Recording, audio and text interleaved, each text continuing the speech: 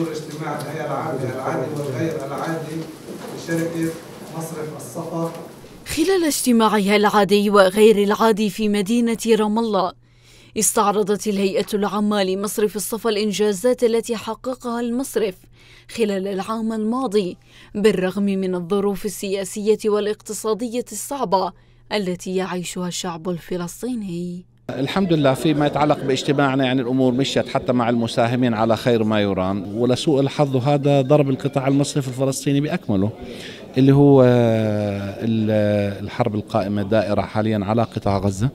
هذه كان لها الأثر الكبير على مصرف الصفاء وعلى البنوك الأخرى.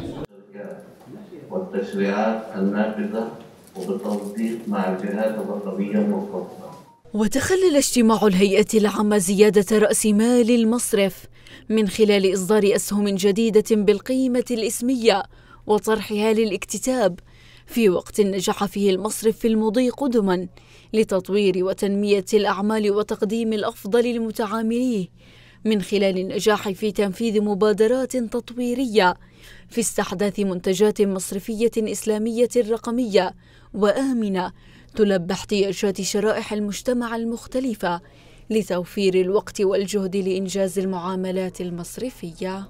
هنا بالمراقبة الواجبة لإبداء رأينا عما إذا كان المصرف التزم بأحكام ومبادئ الشريعة الإسلامية وكذلك بالفتاوى والقرارات والإرشادات المحددة التي تم إصدارها من قبلنا.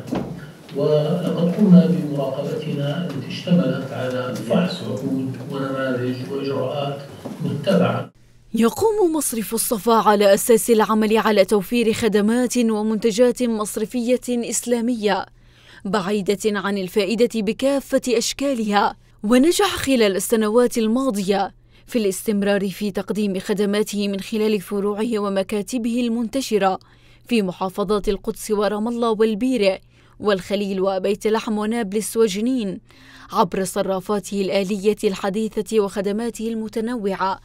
ويتطلع البنك مستقبلا لافتتاح المزيد من الفروع والمكاتب في كافة محافظات الضفة الغربية.